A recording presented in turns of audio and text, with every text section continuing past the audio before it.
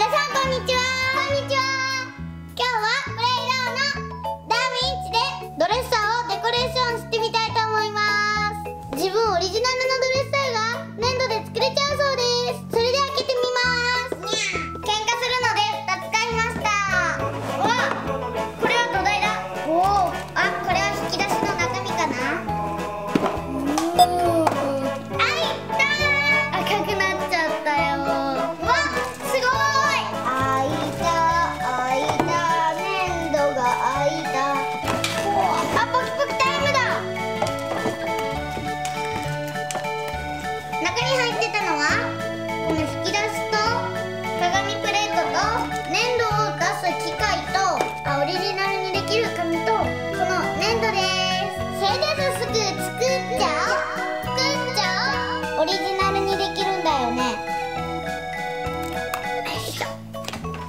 マニキュアみたい。なんかちょっと出てきたよすごい。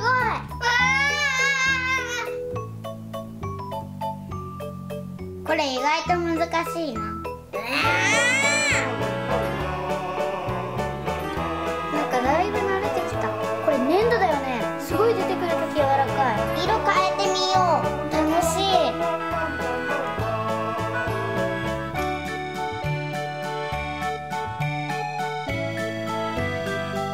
震えてるプルプル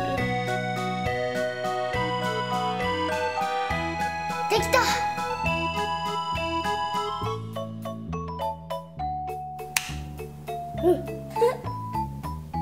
よし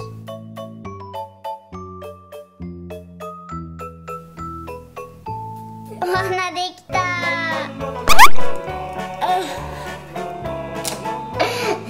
やった成功できた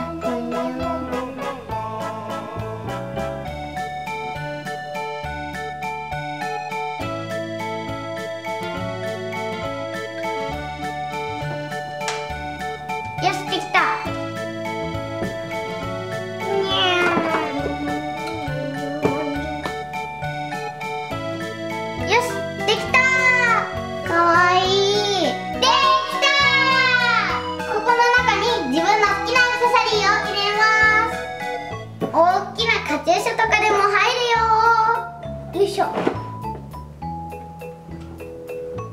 少し粘土が硬くて手が疲れちゃったけど自分オリジナルのドレッサーが作れてとっても楽しいおもちゃでした。ぜひ皆さんも作ってアクセサリーを入れてみてください。バイバイ。また見てね。また見てね。かなちゃん机に飾ろう。あきちゃんも。